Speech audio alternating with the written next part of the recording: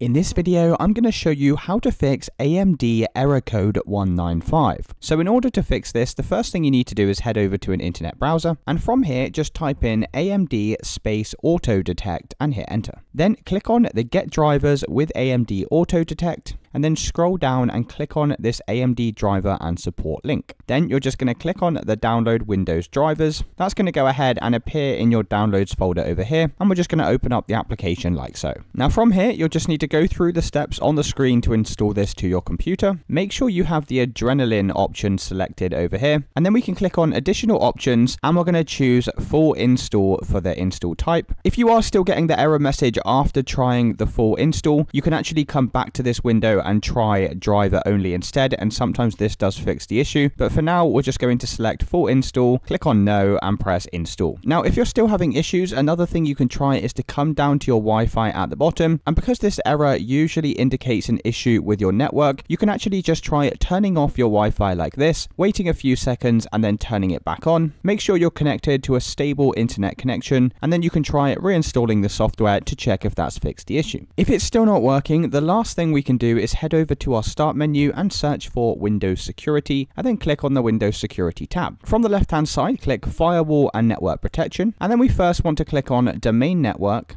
and then you want to try disabling and turning off Microsoft Defender Firewall. Once you've done that, come back over to the previous window, and we're going to do the same thing for private network as well. So just turn this off like so. And finally, we're going to do the same for public network at the bottom down here. Just turn it off again. And once you've done this, that should have now fixed any issues with the AMD 195 error. If you did find this video helpful, then let me know in the comments and I'll see you in the next one.